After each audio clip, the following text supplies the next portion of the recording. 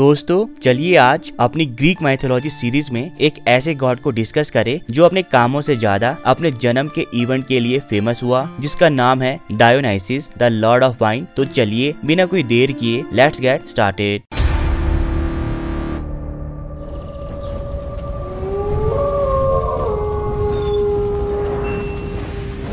Dionysus Zeus और Semele का बेटा था। सैमले एक मॉडल वुमेन थी, जिसे नदी में नहाते हुए देखकर ज्यूस उसकी ब्यूटी का दीवाना हो गया और उसे अपना बनाने के लिए ज्यूस हर पॉसिबल कोशिश करने लगा। आखिरकार सैमली भी ज्यूस के प्यार में पड़ गई। वो ये तो जानती थी कि ज्यूस कोई डिवाइन एंटिटी है, पर ये नहीं जानती थी कि Zeus lord of universe the supreme god है। ज्यूस का ये अफेयर उसकी फेथफुल वाइफ हेरा से ज़्यादा दिन तक छुपा ना रह सका। हेरा को जब सैमली के बारे में पता चला तो उसने ज्यूस और सैमली के इस रिश्ते को तोड़ने के लिए सैमली की सेवा में लगी एक नौकरानी का रूप ले लिया और उसे ज्यूस के खिलाफ भड़काना शुरू कर दिया। उसने सैमली के मन में ज्यूस के खिलाफ शक भर दिया और उससे कहा कि वो अपने लवर को अपनी पूरी ग्लोरी में सामने आने को कहे, क्योंकि वो अच्छी तरह जानती थी कि एक मॉटल नेक्ड आई से किसी भी गॉड को उसकी फुल ग्लोरी के साथ नहीं देख सकती थी। अगर कोई भी ऐसा करता तो उसे सीधे मौत के मुँह में जाना पड़ता। सैमली ने हेरा की बातों बातों को मानकर ज्यूस को अपनी पूरी ग्लोरी के साथ उसके सामने आने को कहा। ज्यूस भी अपने प्रॉमिस से मजबूर सैमली के सामने आ गया और उसकी ग्लोरी से सैमली कुछ ही देर में राख में बदल गई। पर इससे पहले कि वो पूरी तरह से खत्म होती ज्यूस ने उस राख में एक नन्ही जान को महसूस किया, जो ज्यूस का ही बेटा डायोनाइसिस था,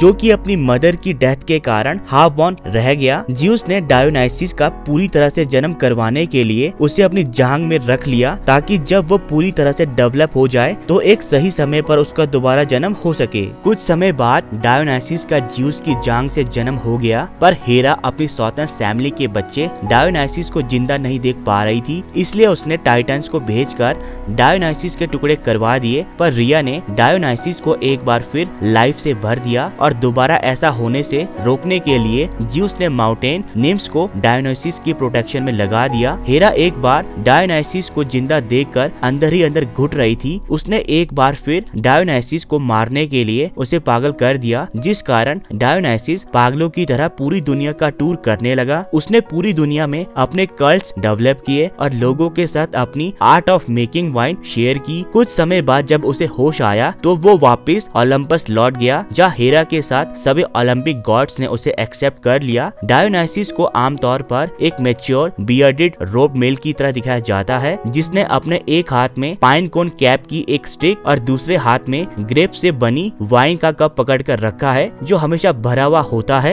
गॉड ऑफ़ वाइन होने के कारण डायोनाइसिस को कई बार ग्रीक गॉड्स का पार्टी एनिमल भी कहा जाता है, जो हमेशा ही वाइन के नशे में होता है। डायोनाइसिस के पार्टी एनिमल होने के कारण उसके बहुत सी फीमेल्स के साथ रिलेशन भी थे, बट उसकी फेथफुल वाइफ का टाइटल एरी एडने को जाता है। एरी एडने वही मॉडल वुमेन थी, जिसे थीसियस डायोनाइसिस के कहने पर आइलैंड पर छोड़कर चला गया था। थीसियस के छोड़ने के बाद एरी एडने उस आइलैंड पर दुखी पड़ी रही। तभी गॉडेस ऑफ़ लव एफ्रोडाइटी ने एरी एडने को बताया कि जल्दी ही उसकी ज़िंदगी में एक ऐसा गॉड आएगा जो उसका ट्रू लव होगा। जब डायोनाइसिस ने एरी एडने को देखा तो वो उसकी ब्यूटी का दीवाना हो गया और दोनों ने एक दूसरे को एक्सेप्ट करके शादी कर ली।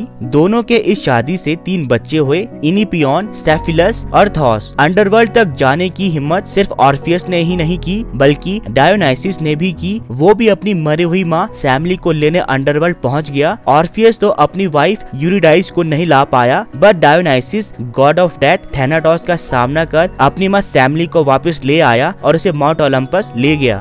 वाइन गॉड डायोनाइसिस के बारे में एक किस्सा और मशहूर है, जिसके मुताबिक अपने वर्ल्ड टूर के दौरान डायोनाइसिस की मुलाकात कुछ पायरेट्स गुंडों से हुई, जिन्होंने डायोनाइसिस को अमीर, रईस, ज़्यादा समझ कर किडनैप कर लिया, ताकि वो उसके पेरेंट्स से बदले में भारी भरकम रकम मांग सके, पर वो अनजान पायरेट्स नहीं जानते थे कि उन्होंने एक गॉड को कैप्चर कर लिया है। उन्होंने जैसे ही उसे बांधने की कोशिश की डायोनाइसिस अपनी गॉड फॉर्म में आकर सभी को पानी में फेंक दिया, जिससे वो सभी डॉल्फिन बन गए। डायोनाइसिस गॉडेस डीमेटर की तरह हमेशा ही मैनकाइंड के लिए सॉफ्ट जेंटल बिहेवियर रखते थे, जिस कारण एंशियंट ग्रीक्स के बहुत से लोग उन्हें वर्शिप किया करते थे। डायोनाइसिस के सम्मान के तौर पर हर साल स्प्रिंग सीज़न में एक हार्वेस्ट फेस्टिवल सेलिब्रेट किया जाता था, जिसका अंत ग्रीक प्लेस और शाही दावत के साथ होता था। फेस्टिवल में शामिल होने वाले सभी राइटर्स एक्टर्स स्पेक्टेटर्स डायनोसिस के सीक्रेट सर्वेंट्स के रूप में सेवा देते थे। तो दोस्तों, ये था Dionysus the god of wine जिसे हेरा ने मारने की तो बहुत बार कोशिश की, पर उसके लक ने उसे हर बार एक न्यू लाइफ गिफ्ट की। अभी के लिए इस वीडियो में इतना ही। मिलते हैं अपनी नेक्स्ट वीडियो पर। And please please please subscribe my channel ताकि हम एक वंडरफुल कम्युनिटी डेवलप कर सके।